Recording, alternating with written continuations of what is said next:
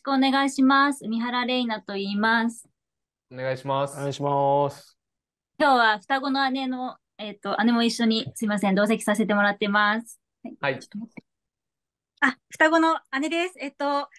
主人がフロンターレのサポーターなんですけど、ちょっと今日で参加できなかったので、ちょっと、あの、後で様子を伝えさせていただきたいと思います。よろしくお願いします。お願いします。お願いします。で、質問なんですけど、えっ、と、マリノスとフロンターレ、えっ、と、日本と、あとセ、セルティックのサポーターの、えっ、と、違いと同じところを聞きたいです。まあ、やっぱり、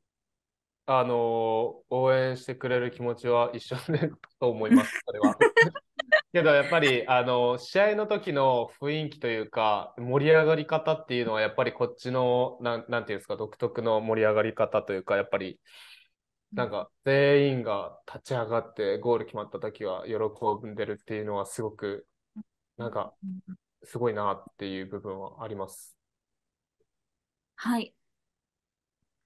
これマリノスファンやから答えでいい？めちゃくちゃ意識してるやん えー、そうですね。でも応援してくれる気持ちとかは一緒ですけど、やっぱり、あの、思うのはやっぱ結構文化が違うなっていうか、その、日本イコールサッカーっていうよりかは、日本イコール、まあ、柔道とか、まあ、野球っていうイメージが結構根付いてる気はするんですよ、僕的には。日本イコールサッカーみたいにあんまなってない気がするんで、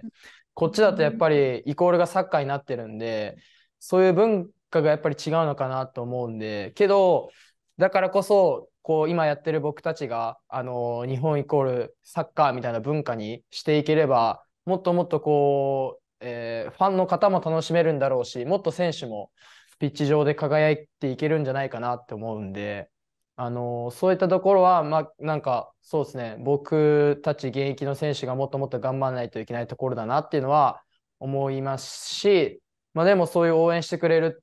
ところっていうのは、日本と海外は本当に違う、違わないとは思いま、違わないと思うんで、あの、そういったところは、あの、もっともっと僕たちも頑張っていければいいかなっていうのは思います。わかりました。ありがとうございます。ありがとうございます。